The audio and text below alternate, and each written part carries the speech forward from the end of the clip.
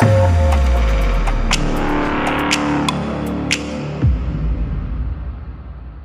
Hello family स्वागत है आप लोग का हमारे चैनल कॉर्ड मांगा पे। आज हम लोग एक न्यू सीरीज़ स्टार्ट करने वाले हैं, जिसका नाम है the lost my lost wife तो अगर आप लोग को ये सीरीज़ ये एपिसोड अच्छा लगता है तो वीडियो को लाइक कर देना। चैनल पे पहली बार आया हो तो चैनल को सब्सक्राइब करके बेल नोटिफिकेशन कॉल पे सेट कर देना। तो एपिसोड स्टार्टिंग में हम लोग को एक जगह का सीन दिखाते हैं, वहाँ पर बारिश हो रही होती। है वहाँ पर हमारा हीरो जो होता है, वहाँ से जा रहा होता है भागता भागता अपने अपार्टमेंट जो होता है, वहाँ पर चला जाता है और सीढ़ियों से ऊपर की तरफ़ जा रहा होता है। लेकिन तभी अचानक से वो काफ़ी ज़्यादा शौक हो जाता है, क्योंकि वहाँ पे दिखाते हैं उसके सामने से एक लड़की आती है जिसके हाथ में सॉर्ड होती है और वो उसके ऊपर अटैक करने लगती है। वो लड़की उसके काफ़ी ज़्यादा करीब आ जाती है। इससे देख के वो लड़का काफ़ी ज़्यादा डर जाता चिल्लाता है, तुम कौन हो?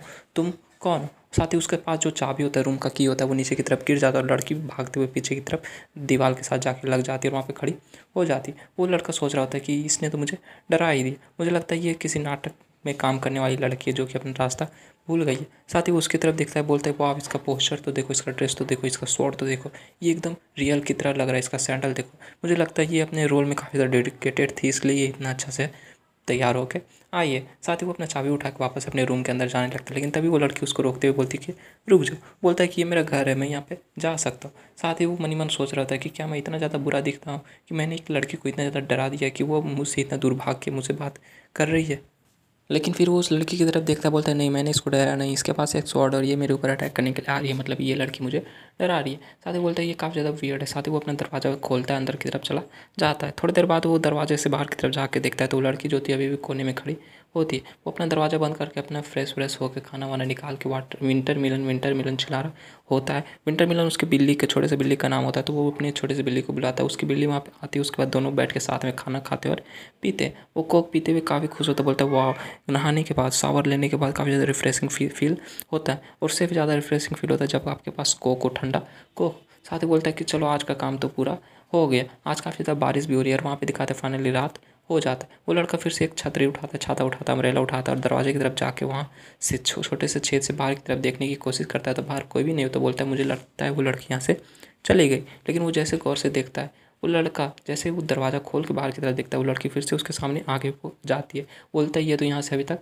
गई नहीं है। वो उसके सामने खड़ा हो जाता, बोलता कि मेरी बात ध्यान से सुनो, यहाँ पे अंधेरा हो चुका है, रात होने वाली और बारिश भी जो है वो रुकने का नाम नहीं ले रही। तो अगर तुम्हारा घर ज़्यादा दूर नहीं है तो तुम इस छतरी को लेकर यहाँ से जा सकती हो। लेकिन अगर अगर तुम्हारा घर यहाँ से बहुत ज़्यादा दूर है तो तुम अपने फैमिली मेंबर को बुला सकते हो, वो तुम्हें यहाँ से पिकअप कर लेंगे, तब तक मैं तुम्हारा ख्याल रख सकता हूँ। वो उसको वहाँ से भगाने की बहुत सारी कोशिश करता है, लेकिन वो लड़की बोलती कि ये जगह कहाँ बोलता है कि ये बैबैंग रोड पे मेरा घर है बोलती है, क्या वो कुछ नहीं बोलती? फिर वो बोलती है अच्छा और तुम कौन हो? बोलता है कि, क्या, अब मैं इसको कैसे आंसर दूँ इस बात का? मैं जवाब कैसे दूँ बोलता है कि तुम मुझे ली फैंग बुला सकते मतलब उस लड़के का नाम ली फैंग होता है। अब बोलता है कि क्या तुम्हें अमरेला चाहिए? अगर नहीं चाहिए तो मैं इसको यहाँ से दूर रख रहा हूँ मतलब कि वापस से अंदर जा रहा हूँ। लेकिन वो लड़की उसको ग्रीट करते हुए बोलती है कि मैं साल्ट गैंग की एक डिसाइपल हूँ और मुझे नहीं पता कि मैं यहाँ पे कैसे आ गए उसका ये बात सुनने के बाद वो लड़का और ज़्यादा शौक से बोलता है, मुझे लगता है ये लड़की काफ़ी ज़्यादा बीमार है। क्या पता ये किसी एट्थ ग्रेड की स्टूडेंट हो या फिर पता नहीं इसको किसी चीज़ का सदमा लगा, ये इसलिए बिहेव कर रही लेकिन वो उस सबको छोड़ के अंदर की तरफ़ वापस अपने रूम के अंदर चला जाता बोलता है कि जो भी हो,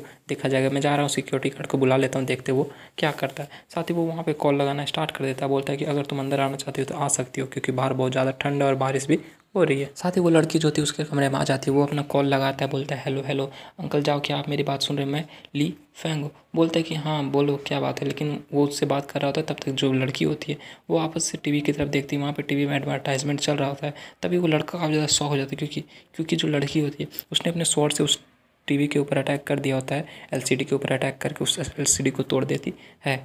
ली फैंग काफ़ी शौक के साथ उधर की तरफ़ देख रहा था और उसके फ़ोन पर उसके जो अंकल होते सिक्योरिटी गार्ड वो बोल रहा था कि ली फैंग ली फैंग क्या वो मैंने एक बहुत जोरदार आवाज़ सुनी, क्या वहाँ पे कोई मसला है? वहाँ पे दिखाते वो लड़की उस टीवी को उड़ा देती है मतलब तबाह कर देती है। बोलता है, नहीं नहीं, ऐसी कोई बात नहीं, मैं आपसे ऐसे बात कर रहा था, मैं आपसे बाद में बात करता हूँ। साथ ही वो कॉल को रख देता है और बोलता है कि मुझे लगता है ये काफ़ी ज़्यादा डेंजरस होने वाला अगर ये लड़की इसी तरह बिहेव करती रही तो। वो बोलता है कि तुम मेरी बात ध्यान से सुनो। वो उससे कुछ पूछने वाला होता है, लेकिन तब तक लड़की उससे पूछती है कि आखिर ये जो लोग थे यहाँ पे अचानक से कैसे आ गए? और वैसे तुम किससे बात कर रहे थे थोड़ी देर? पहले वो काफ़ी गुस्से के साथ उसकी तरफ़ देख रहे थे वो बंदा अभी भी सोच रहा था कि मुझे लगता है कि लड़की पागल हो गई, ये इस तरह से ड्रेस नहीं हुई। है ये तो यहाँ पर मेरे टीवी को इस तरह से स्टैप कर इस तरह से मतलब तोड़ रही है, जैसे कि ये किसी गुस्से मतलब किसी नेमी के ऊपर अटैक कर रही होगी। इसका सैंडल और क्लॉथ देखने के बाद मुझे लगता है कि इसके पास पैसे भी नहीं होंगे और मुझे मेरा टीवी दोबारा नहीं मिलने वाला। वो अपने दोनों हाथ ऊपर करके बोलता है कि मैं तुमसे एक बात कहना चाहता हूँ। पहले क्या तुम अपनी शॉर्ट को नीचे रख सकती हो? मैं कोई बुरा इंसान नहीं हूँ, मैं काफ़ी अच्छा इंसान हूँ। मैंने तुम्हें अम्ब्रेला दिया था थोड़ी देर पहले, क्या तुम्हें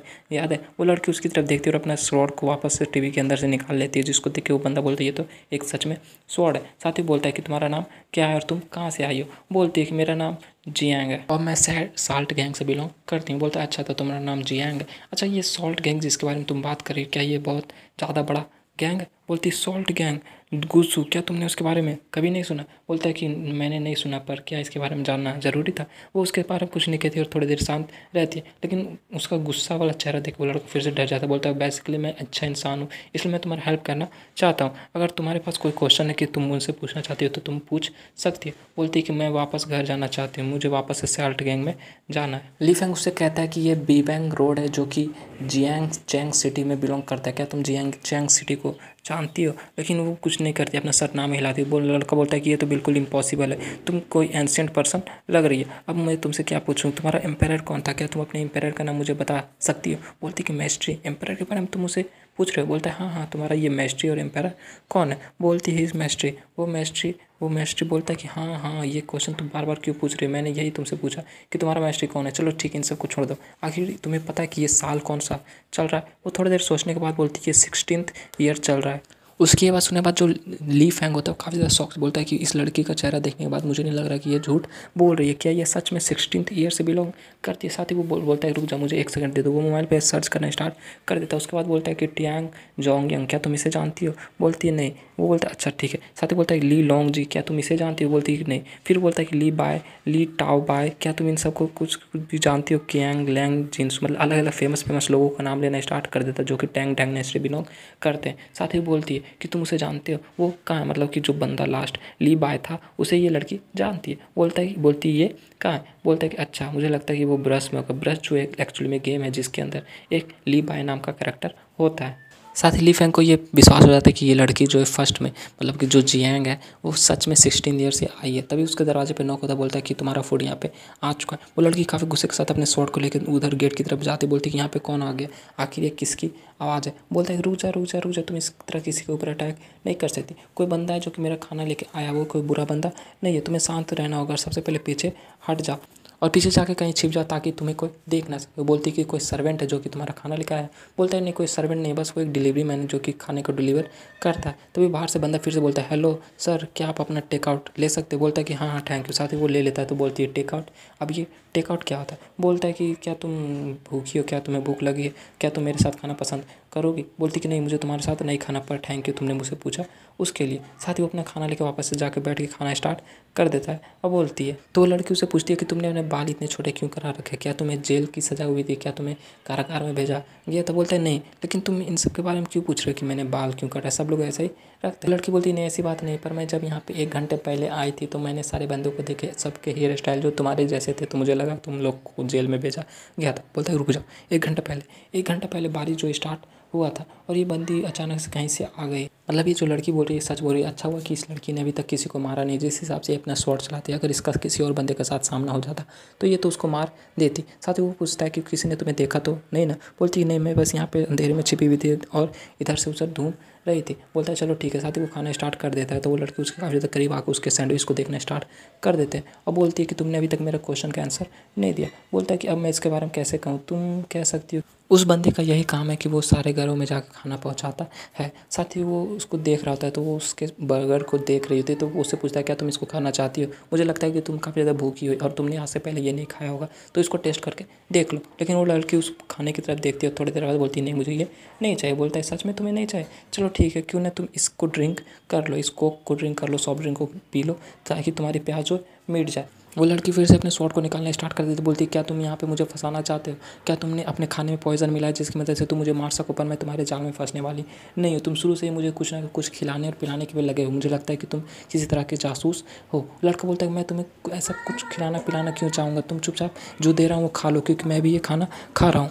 और वैसे भी ये हम बर्गर तुम इसको खा सकती हो, इतना बोल ही रहा था, तब तक वो लड़की जो थी अपने शॉर्ट से उसके कोक को गिरा देती है और उसका पूरा का पूरा कोक जो है नीचे गिर जाता है। वो लड़का बोलता है कि तुमने सच में इसको गिरा दिया, ये पॉइजनस नहीं था, मैंने तुम्हें कहा था ना, ये एक ड्रिंक है, हम लोग इसको पी सकते पर तुमने ऐसा क्यों किया? लेकिन वो लड़की काफ़ी गुस्से के साथ उसके ऊपर चढ़ के खड़ी हो जाती है और अपने शॉर्ट से ऊपर अटैक करने वाली होती है और बोलती है तुम मेरे खाने में पॉइजन दिला, खिला के मुझे मारना चाहते हो, लेकिन लड़का बोल रहा था, नहीं, ये पॉइजनस नहीं था, इसके अंदर पॉइजन नहीं था। मुझे लगता है यहाँ पे एक बहुत बड़ी मिसअंडरस्टैंडिंग हो चुकी है। और शिक्षा जो ये एपिसोड था, यहाँ पे एंड हो जाता है तो अगर आप लोग को ये first episode my lost wife का पसंद आता है तो प्लीज़ वीडियो को लाइक कर देना चैनल पे पहली बार आके चैनल को सब्सक्राइब करके बेल नोटिफिकेशन कॉल पे सेट कर देना, और ये वीडियो ये सीरीज़ कैसा लगा ये मुझे कमेंट में बता देना। तो मिलते हैं नेक्स्ट वीडियो के साथ, तब तक ले लिए bye stay happy spread love